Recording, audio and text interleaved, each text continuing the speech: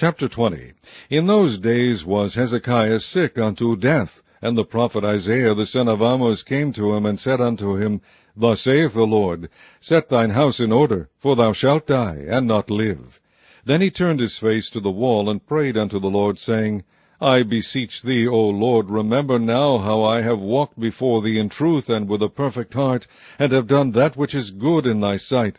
And Hezekiah wept sore. And it came to pass, afore Isaiah was gone out into the middle court, that the word of the Lord came to him, saying, Turn again, and tell Hezekiah the captain of my people, Thus saith the Lord, the God of David thy father, I have heard thy prayer, I have seen thy tears, behold, I will heal thee. On the third day thou shalt go up unto the house of the Lord, and I will add unto thy days fifteen years.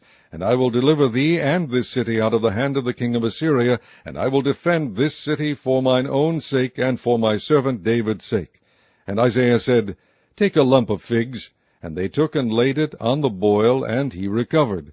And Hezekiah said unto Isaiah, What shall be the sign that the Lord will heal me, and that I shall go up into the house of the Lord the third day?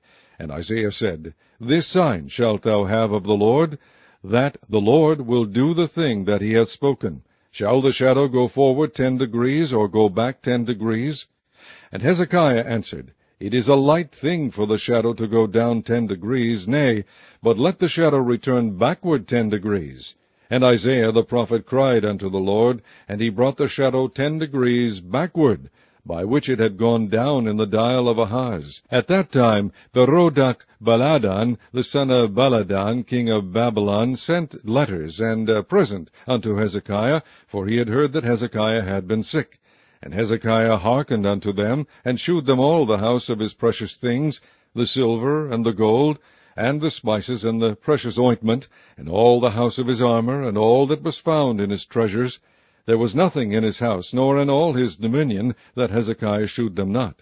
Then came Isaiah the prophet unto King Hezekiah, and said unto him, What said these men, and from whence came they unto thee?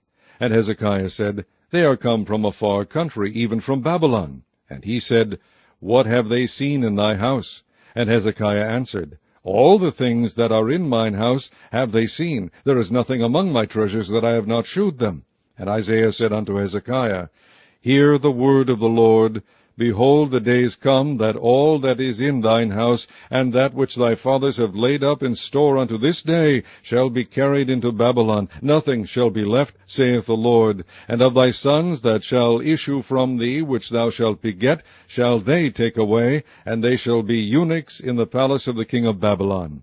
Then said Hezekiah unto Isaiah, Good is the word of the Lord which thou hast spoken.